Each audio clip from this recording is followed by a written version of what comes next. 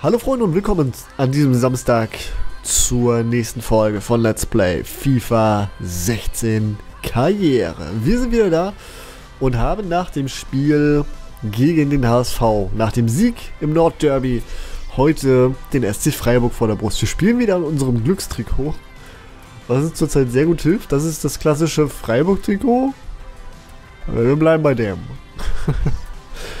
äh, spielen gegen Freiburg, gegen Nils Petersen, unserem ehemaligen Spieler, beziehungsweise unserem ja nicht direkt, sondern halt von, von Werder Bremen. Ihr wisst, was ich meine. Äh, spielen wir heute und wollen auch dort nach dem Sieg gegen Stuttgart und wie gesagt gegen den HSV den nächsten Sieg einfahren. Es wäre, es wäre schön. Ich würde es mir wünschen. Tiniet war heute nicht dabei. Ähm, aus gelb gesperrten Gründen, die ich äh, mir nicht ergründen kann. Wenn ihr versteht. Ähm, wir nehmen mit. Ich packe meinen Koffer und nehme mit einen Anthony Uja. Felix Groß. Ähm, ich nehme Felix Groß mal nicht mit. Sondern äh, belasse es so, wie es ist. Das ist soweit okay. Ich denke, das sind Spieler, die dieses Spiel wichtig sein können. Freiburg ist eigentlich vom Papier her eine leichte Mannschaft natürlich. Aber soweit ich mich erinnere, haben wir das Hinspiel gegen die Freiburger äh, gegen die Freiburger verloren. Es wäre schön, wenn das heute nicht wieder passiert. Äh.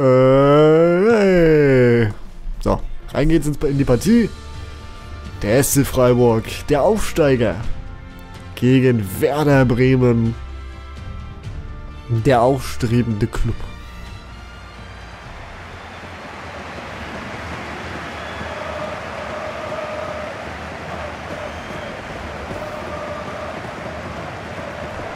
Das ist unsere Tabellensituation. Wir sind auf Tabellenplatz 4 mit einem Sieg und einem Unentschieden oder einer Niederlage von Gladbach wären wir Tabellendritter. Das wäre natürlich überragend. Hier kommt die Aufstellung von Freiburg rein mit Schwolow, Kübler, Höhen, Mitrovic, ähm, Günther, Schuster, Höfler, Mike Franz, Kron, äh, Moldeli, Petersen und seinen Sturmpartner habe ich nicht gesehen. So, Ball liegt. Der Rasen ist nicht der beste. Aber immerhin ist das Wetter schön. Das ist wichtig. Das macht schon mal einen großen Unterschied, ob es Wetter schön ist oder ob es regnet. Oder stürmt oder keine Ahnung was. Und vor allem, wenn du einen gegnerischen Torwart hast, der Schwollo heißt, Schwollow, dann geht sie sowieso schon mal wesentlich besser. gibt es hier die erste gelbe Karte für unseren Spieler. Für unseren guten Heirovic, der da ein bisschen engagiert reingegangen ist. Weiß ich nicht, ob das unbedingt äh, ja, gelbwürdig ist. Meiner Meinung nach pfeifenswürdig, klar, aber gelbwürdig, nein. Auf keinen Fall. Wiedwald. Caldirola und Bartels. Ich mag die Stimmung im Stadion. Die ist ganz, ganz sück, äh, ganz sück, ganz schick. Ich wollte süß zuerst sagen und dann wollte ich schick sagen und dann macht Jonosovic den nicht rein. Och, Juno, was ist los? Den hättest du sonst im Schlaf gemacht, vor allem gegen Schwollo. Was ist das für ein Name? Es tut mir leid. Schwollo. Schwollow. Ich... Ja, ähm. Na gut. Man soll sich nicht über Namen lustig machen, man kann dafür ja nichts. Hajrovic. Oh, starker Ball kriegt Wadi leider nicht. Bisschen zu stark. Versteht ihr? Weil starker Ball und zu stark und... Ja. Günther. Klasse von Gebre Selassie, der sich den Ball da holt. Bartels ist dran. Das ist Barkfrede jetzt. Und das ist Slatko Jonosovic. Jonosovic mit der Flanke. Wir haben den Ball noch. Wir haben den Ball noch. Vardy. Bartels.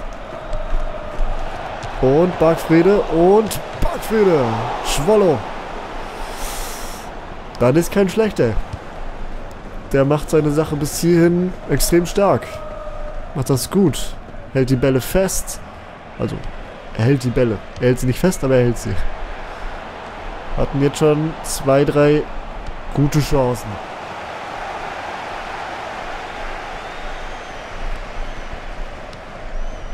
Petersen. Nils Petersen. Boah, Hajrovic, vorsichtig. Du hast schon gelb. Ich will hier nicht in Unterzahl spielen, mein Freund. Grifo. Der Sturmpartner von Petersen, den ich vorhin nicht gesehen habe. Jetzt haben wir das auch mal auf dem Schirm. Und jetzt gibt es die Ecke ausgeführt durch Julian Schuster. Wiedwald ist da, klasse und dann schnell gemacht. Ah, Bartels. Jetzt müssen wir einmal nach unten spielen, Jonosovic. Wir müssen warten, weil der Spieler immer nicht aus dem Arsch kommt. Ich weiß nicht, Hajrovic, der ist da mitgetrabt, statt mal ein bisschen zu sprinten, vorbei zu sprinten, dass wir ihn schicken können. Mike Franz, klasse, klasse schon, krasse Drehung. Super gemacht. Von Lukemia Hajrovic. Freistoß für uns, sehr gut. Garcia.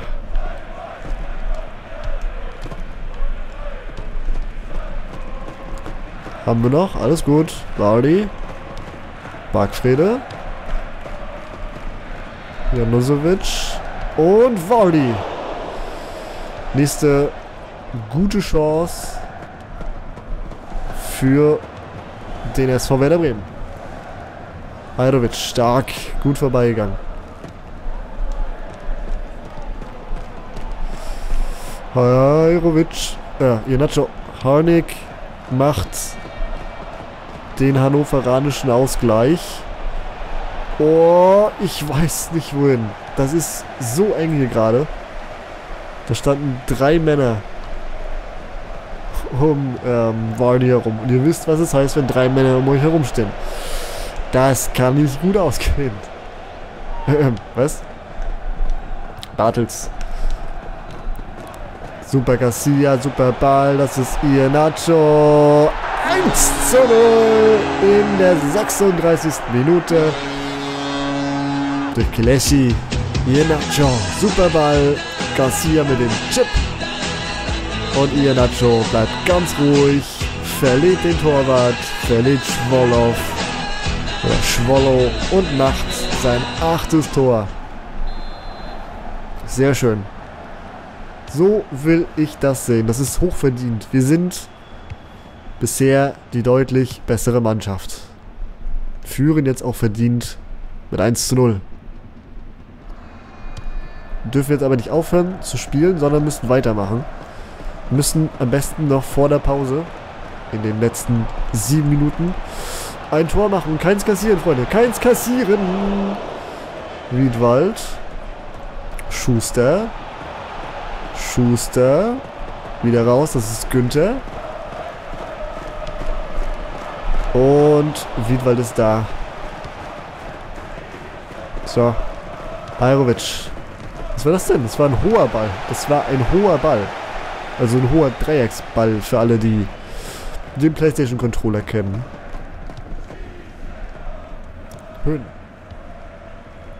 Höfler. Und Petersen. Schuster. Klasse Ball. Griffo weiter auf Franz, der mit der Flanke. Wiedwald ist da. Alles gut. Janusovic.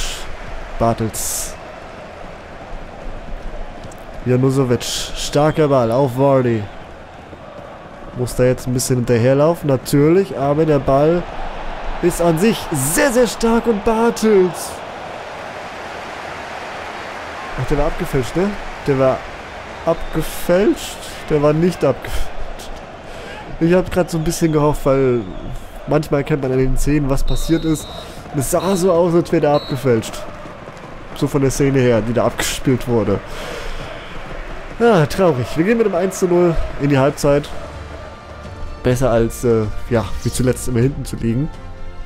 Und äh, schauen auf die anderen Ergebnisse. Frankfurt führt 1 zu 0 gegen Bayer Leverkusen, Hannover 1-1 gegen Hamburg, Hertha 1-0 gegen Darmstadt und Kaiserslautern liegt gegen Stuttgart mit 0 zu 1 hinten. So, zweite Halbzeit, Anstoß für die Freiburger.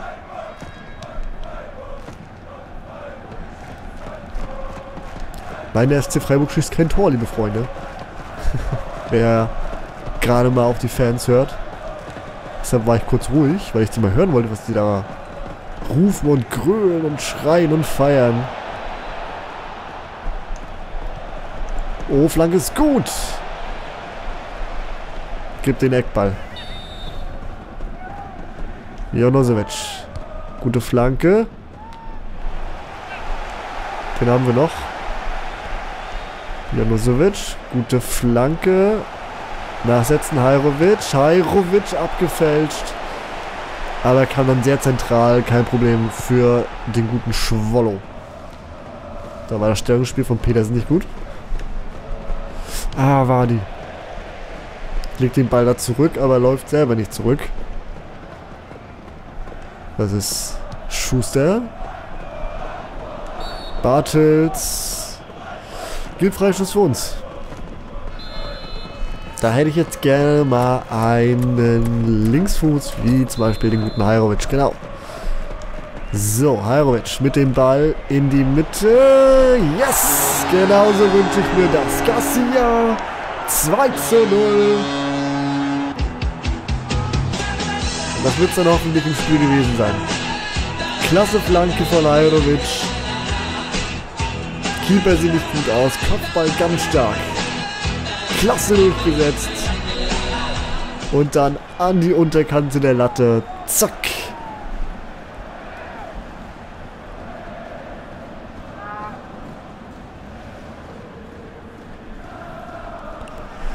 Eins, äh, erstes Tor für Santiago Garcia. Und wir führen mit 2 zu 0. Sehr, sehr schön, sehr, sehr stark, sehr, sehr gut vor allem. Wichtig, endlich wieder zurück in die Spur zu finden. Endlich wieder Siege einzuholen. wir sind die deutlich bessere Mannschaft, haben sieben Schüsse. Freiburg einen einzigen Schuss. Ich frage mich, wie wir gegen die im Hinspiel verlieren konnten. Vorsichtig, Schuster, das war klasse gespielt. Ja, den musste eigentlich machen. Wiedwald war aber da. Geben wir jetzt die Ecke. Ausgeführt von Julian Schuster. Kommt sehr weit nach außen. Vardy, ah, den hätte er haben können. Und kein Problem für Wiedwald. Wieder Petersen. Und Deli setzt den knapp vorbei. Abstoß durch unseren Keeper, Felix Wiedwald.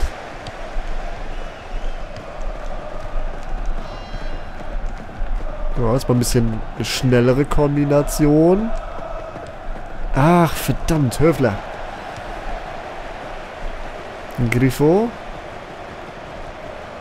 Mike Franz. Und super aufgepasst. Barkfrieder. Jonusevic kämpft. Jonusevic will den. Oh, das war, das war Frust. Das hat man gemerkt.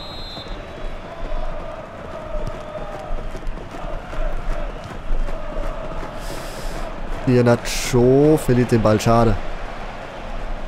So, Konterchance für Freiburg. Mal so mehr oder weniger. Mike Franz. Läuft über die rechte Seite. Garcia kommt nicht mehr hinterher. Und Wiedwald ist da. Sehr gut. Dann der Chip. Ah, schade. Höhen. Höhen dazwischen.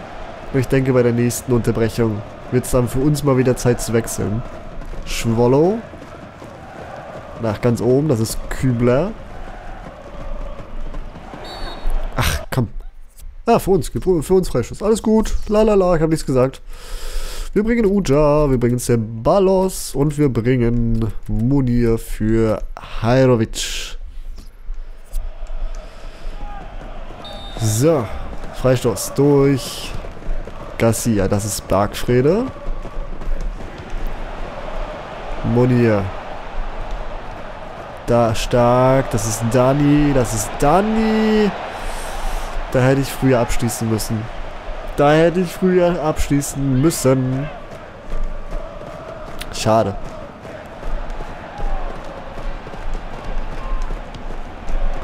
Dani. Dani. Pfosten. Nachschuss. Munier. 3-0. Einmal abklatschen mit Bartels. Da war Wille hinter. Den haben wir gewollt. Hier Dani an den Pfosten und Munier. Ganz sicher nicht im Abseits. Und dann steht's 3 zu 0. Schön nachgesetzt. Klasse gemacht von der Mannschaft.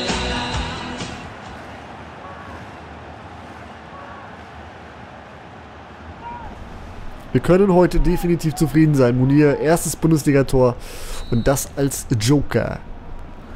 Also wie gesagt, wir können sehr, sehr zufrieden sein mit der heutigen Leistung. Das war eine deutliche Verbesserung im Gegensatz zu manch anderen Spielen. Oh, Dani lenkt den ab. Stieber macht nochmal das Tor für den HSV. Gleich dann nochmal aus. In der 77. Minute. Hedestadt. Bartels dazwischen. Stark gemacht. Und jetzt kommt nochmal Freiburg mit Molodeli. Oh, macht das gut. Flanke allerdings doch gefährlich. Ich dachte, Bargfriede kriegt den. Oder nee, es war Monier. Monier, der hier am Ball ist. Habe ich. Uja. Alles. Hallo. Läuft da irgendjemand hin zum Ball? Freiburg, Freiburg muss als nächstes gegen die Härte ran.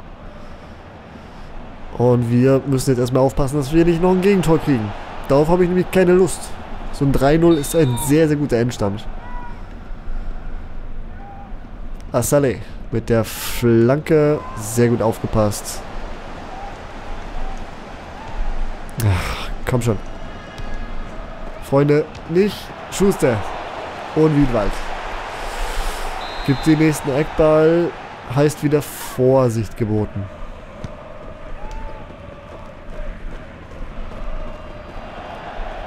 Okay, vergesst das mit der Vorsicht. Das war eher niedlich. So, Finn Bartelt jetzt am Ball. Zieht nochmal nach vorne. Schicken wir Uja. Der kommt hier aus dem Arsch, war klar. Verliert den Ball. Aber Ball bleibt bei uns. Einwurf. Sehr gut. Uja. Hier Nacho stark. Monier, Monier, Monier. Fliegt da über Schwollo. Es wäre natürlich klasse gewesen, wenn er jetzt sogar noch sein zweites macht. Erst die ganze Zeit gar nicht treffen und dann macht er zwei auf einmal. Dani. Dani und Uja und 4-0. Gegen den SC Freiburg. Klasse gemacht. Schönes Tor. Schnell kombiniert. Zack. Zack. Durchgesteckt. Und dann sofort abgeschlossen von Uja. Der dann seinen eigenen Treffer sozusagen eingeleitet hat.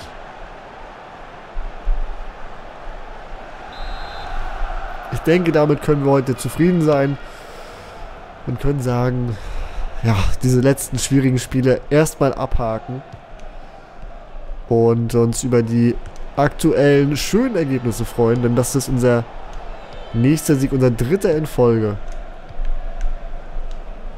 Bartels. Uja wollte jetzt hier noch einen machen, oder was? Ach, schade. So nicht. Und am Ende steht's 4 zu 0. Gewinnen wir gegen den SC Freiburg. Sehr, sehr gutes Ergebnis. Sehr, sehr wichtig. Das lässt uns weiter hoffen, dass wir am Ende in der Champions League stehen. Elf Schüsse für uns, sechs am Ende für Freiburg. Die Hertha gewinnt 3-0 gegen Darmstadt. Stuttgart 2-1 gegen Lautern, Hamburg 2-2 und Frankfurt gewinnt tatsächlich gegen Leverkusen. Klasse. So, einmal Training gestartet. Und dann habe ich gerade schon mal auf die Tabelle geschaut. Wir sind, oh, Sternberg ist 70, Monier eine 80. Sehr gut. Das sind sehr schöne Werte. Monier hat sich nach dem Spiel auf jeden Fall verdient. Äh, wir sind Tabellendritte aktuell, aber Gladbach muss noch spielen. Das ist gerade das Problem. Sperre abgelaufen für Teniertweil, der kann wieder spielen. Das wird er auch nächste Partie wieder machen. Real Sociedad, Villarreal.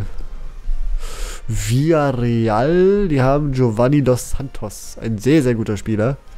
Aber, nee, danke. Ich verzichte.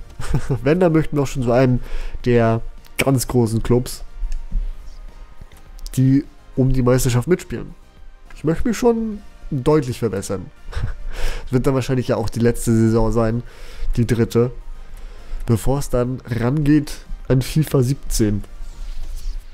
Uiuiui, Monatsbericht, Trainingsverletzung, toll, Trainingsverletzung. Beim letzten Training ist es zu einem einer Verletzung gekommen. Unglücklicherweise lautet die Diagnose für Aaron Johansson Schienbeinbruch. Vier Monate Pause. Sehr schön. Ich bin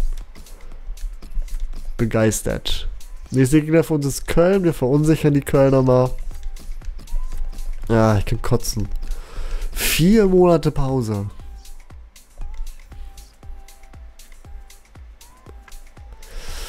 Ein Stürmer weniger. Außenbandverletzung von Huntela ist auch nicht gerade viel besser. Bayern ist dabei, Euroleague. Äh, wir gucken mal. Wir sind auf Tabellenplatz 4. Borussia hat beide Spiele gewonnen. Die haben schon ein Spiel wieder mehr. Gucken nochmal in die E-Mails. Ian Nacho möchte spielen. Darf das natürlich auch nach den klasse Leistungen, die der zuletzt gezeigt hat. Ah, da haben wir Sevilla wieder. Sehr gut. Dann äh, hole ich Sevilla wieder in die Auslosung mit rein, dass ihr entscheiden könnt, ob wir zu Sevilla wechseln wollen oder zu Chelsea, zu Manchester United oder zu Juventus Turin. Oder bleiben wir halt bei Werder Bremen. Das sehen wir dann alles äh, in ein paar Tagen, Wochen, wenn es dann an die ähm, Umfrage geht, wohin ihr denn nun wechseln möchtet zur dritten Saison. Ich bedanke mich jetzt erstmal fürs Zuschauen.